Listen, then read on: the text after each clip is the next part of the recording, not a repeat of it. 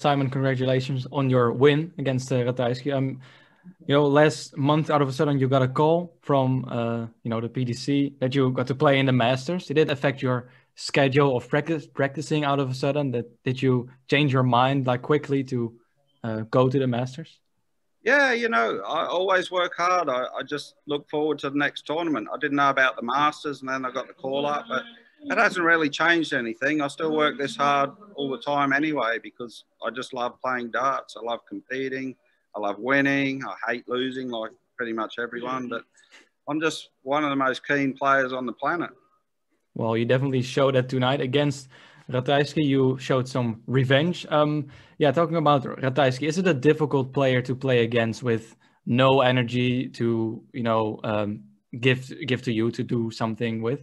Yeah, absolutely. You know what? I, when you play a match like this with no crowd, you have to create your own energy, and that's what I seem to find. And players like uh, Price, he is amazing at creating his own energy and making it like a big game with no crowd. He, he is great at that. And I think that's a big reason why he won the World Championship. Not, but also he's an amazing dart player and he's been probably the best player last two years. But he knows how to do the same thing. You know, we, we create our own energy and, you know, that that's part of winning a match.